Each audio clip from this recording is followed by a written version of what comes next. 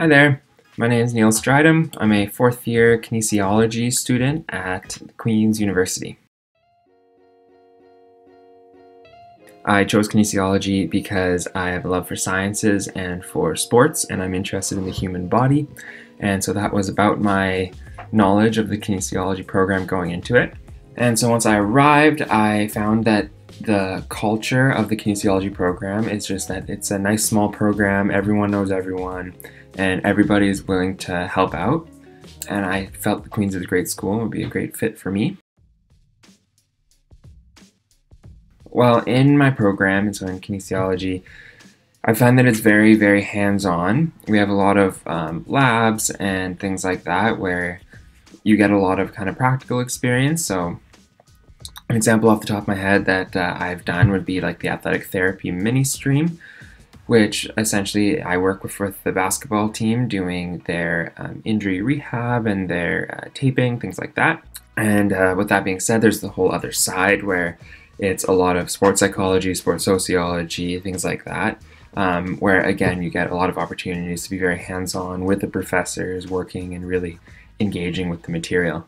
Yeah, so I mean, to be successful in the program, you really need to just be open to all the different types of learning and all the different types of uh, education that you'll receive. So, I mean, I came in with a big science background thinking it was going to be just science, but I found that some of the things I enjoyed the most was the sports psychology section of the degree that you get exposed to. And even the sports sociology section and things like that, which is something that I didn't really expect. Show the school that you're well rounded, um, and so a love for sports is a big thing that they do look for, um, although not required. But uh, even, and when I say sports, I mean very broadly any types of physical activity and uh, just a passion for living a healthy lifestyle. I think that that is definitely something that um, they look out for because it's something that they really preach in the course itself.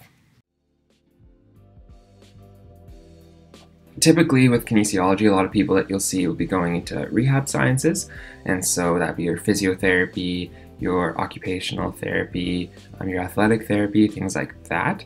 However, it is not fair to think that that is the only things you can do with a kinesiology degree. Um, personally, I would like to go to medical school, but uh, with the degree that I have, it is uh, it's pretty easy to um, go down the path of wanting to become a professor, doing graduate work. As I mentioned, there's all the different subfields like sports psychology, sports sociology, and all the things that I mentioned before. Um, and throughout, definitely, I mentioned earlier that I did the athletic therapy internship. That is only one of the opportunities available. There's also strength and conditioning, there's a research one, and then there's one that is working with um, individuals who have disabilities in a, a rehabilitation gym. And so, yeah, I definitely I suggest picking one of those and just going full on in it because the experiences you get could change your outlook on so many things and could really help for your uh, career in the future. Absolutely.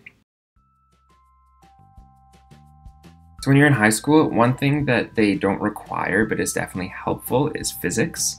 And so the reason for that is one of the pre or the core courses that you have to take from first year and second year is biomechanics, and that has a pretty large physics component. Most of it is around physics 11, a little bit of physics 12, but I would definitely suggest taking that just so you have the background coming into it. And that's one thing that they don't really they don't really let you know that. So when you get there, um, a lot of your courses are already laid out for you, and that's just because the program is fairly specialized. However, you do, do get some freedom to pick elective courses as well. And for me, again, as I said earlier, I would suggest definitely going and taking some of those internship courses, your athletic therapy, strength and conditioning, your research, um, and working in the Revved Up Gym, which is the rehabilitation gym. And other than that, there's other courses for, I've mentioned the Cardiometabolic Assessment Lab, that is KNPE 355 and that is a great course to take because it has so many um, lessons in there that will give a different perspective on healthcare and all different types of healthcare fields um, and kind of the way that they use different strategies in cardiometabolic assessments. Other courses that I would suggest taking is definitely try all of the different uh, specialties before deciding where you want to aim most of your courses. I thought I was going to be all exercise physiology, like the biology, um, biomechanics, like all that type of stuff. But one of the things that I found from trying all different types of courses is that sports psychology is one of my biggest interests. And so this has resulted in me um, doing an honors thesis in sports psychology and a summer research project, and hopefully getting a paper published in sports psychology. So definitely when you're picking your courses, try them all and sample them all because you never know what you're going to absolutely love. Studying for kinesiology, a big thing because it's so practically based is just getting that practice and really learning hands-on for me is what I found I found the best. So, for example, you take anatomy in second year, and for me, going to, into the cadaver lab and actually working with the specimens and looking at them, that was the best way that I was able to study and really able to learn. And so I think with the nature of a lot of the courses, it's just getting out there and doing it and repetition. I wish I realized in first year that this is different for everybody, but I can't study with music. I I really thought I could, but that's something that I kind of had to kind of had to learn for myself. And I also wish I realized how good it is to go and study at the library. Um, the library is just a really quiet place, and it's just really it helps you focus. And it takes a three-hour project and helps you focus in and do it in two hours. But I think that learning to study for this program really is just kind of trial and error and figuring out what works for you. And one last point on that, I do think that uh, using your friends, because it's such a close knit community, like studying with your friends and um, working in a group to figure things out for a lot of people works really, really well.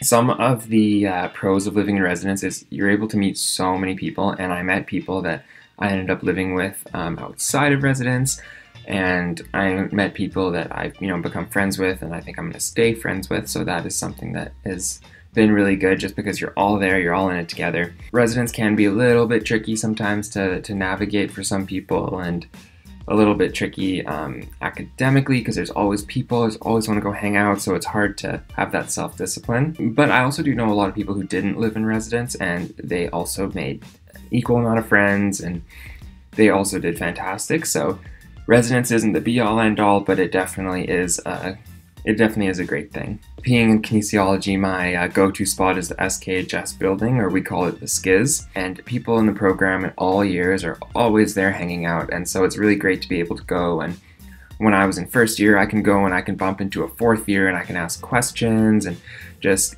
really chat with them and get to know everybody. But for the school as a whole, probably the uh, the JDUC has some nice spots, and in the ARC in the arc is the gym and there's like a food like a cafeteria there kind of and so there's a lot of spots where people go and they hang out some really good ones uh, within the faculty are like winter adapted games motion ball queens for the boys um, and the list goes on and on and on um, another big one that's outside of the faculty is Queen's First Aid. Um, that's the medical first responder team, so take a look in September. I think the biggest thing about making friends in university is just finding that group that you click with. Honestly, Frosh Week or uh, Orientation Week is what it's called now, is um, probably the biggest thing for me, or was the biggest thing for me, because everyone's in it together and everyone's going to all these events together. No one really knows anyone else, and so that's where you meet so many different people. But that isn't the only way to do it, and I think that that's a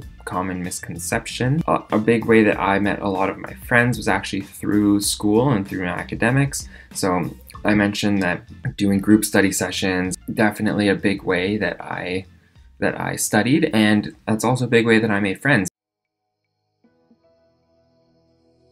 So we do have in the JDUC, there is a kind of a student wellness center, and so they have a ton of resources available there, as well as uh, nurses, and I think there's usually a doctor in there as well for kind of uh, medical support. In terms of academics, there are academic advisors for each uh, faculty, and there's also the SAS in the library, which is helps you with your uh, writing and a ton of other stuff as well. So there's a lot of academic resources available there.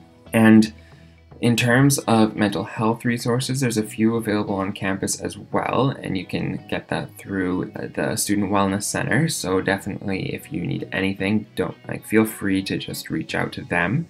And in terms of uh, financial support, I know that the school has a uh, department that's dedicated to that type of stuff, and in my experience, reaching out to any department in the school um, they're always helpful and they'll always point you in the right direction. The other thing is that there's a lot of clubs on campus that provide support and that provide um, resources for absolutely anything and everything that you can think of. Another big thing is for out of province. Um, I'm an out of province student and I actually came to Queens not knowing too many people. And I was pretty surprised to find that so many people are out of province. And so a big thing that I learned is, you know, you're not alone. And once you meet those people, um, and you get the chatting, then you're like, okay, like I'm in, I'm in this with other people. I'm not alone in this, and everything's gonna be okay. I wish that I was a little bit more organized with my schoolwork and realizing that wow, okay, like this is university now. It's not it's not high school schoolwork anymore. And I think that I would just tell myself to don't stress out over the little things because at the end of the day, everything works out and at the end of the day, if something little goes wrong in your academics, in uh, your social life, things like that, everything will work itself out. And um, seizing every single opportunity, I think that's what I would tell my first year self because first year is definitely a totally different experience than second, third, or fourth year. It's you know your your first time at university and in terms of my program, I think that the program does a really great job of kind of guiding the first years. They help guide me, and I'm sure they help guide a ton of other people as well. And uh, so, yes, that's what uh, that's that's what I would say.